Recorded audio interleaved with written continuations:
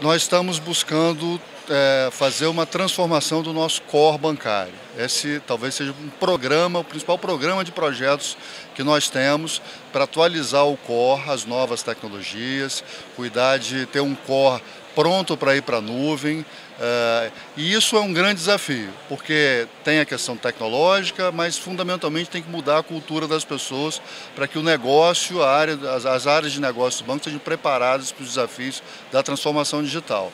Um outro uma outra frente importante é a frente de canais digitais. Nós temos investido muito nos canais digitais, na parte de aplicativo, é, no internet banking, é, para que o nosso cliente seja possa fazer tudo no próprio mobile, por exemplo. O ano passado, por exemplo, nós ampliamos nossa, nossas transações com movimentação financeira no aplicativo da ordem de 125%.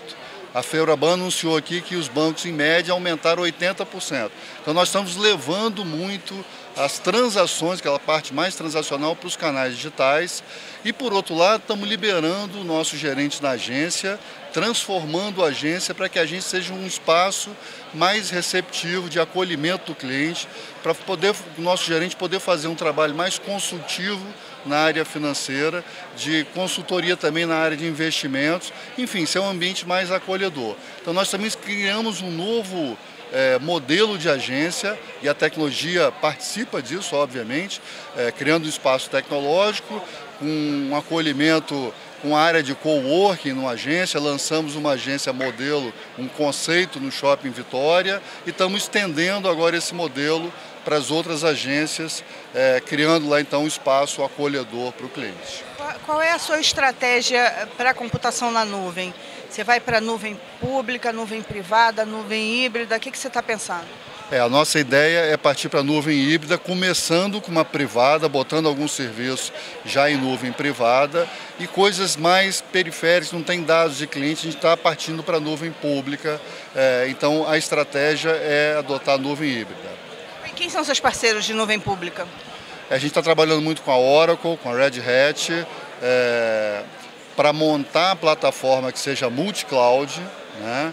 É, para que, é, mas nós não contratamos um provedor de nuvem pública ainda não. É, tem, qual é o desafio para um banco é, é público se manter atualizado com as tecnologias mais avançadas? É, as, ó, o banco público tem um pouco mais de restrição na parte de contratação.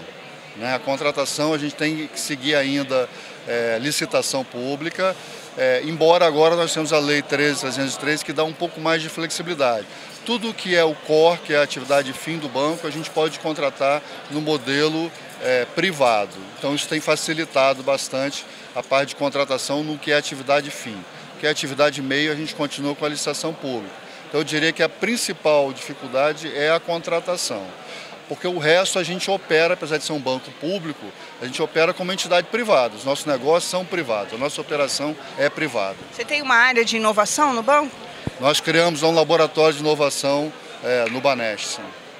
É, você disse que vai modernizar o core bancário, mas ele permanece ainda em plataforma enterprise, né? Sim, nós temos que cuidar do legado, né? ao mesmo tempo que criamos um novo core.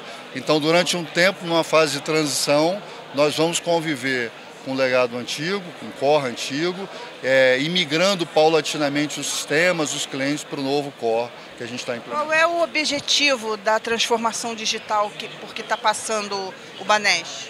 Onde vocês querem chegar? Olha, nós queremos é, buscar mais negócio, atender melhor os nossos clientes. É, nós queremos ter um modelo em que nós somos digital, sempre que o cliente quiser, mas está ao lado dele também presencialmente, essa parte consultiva, quando ele precisar.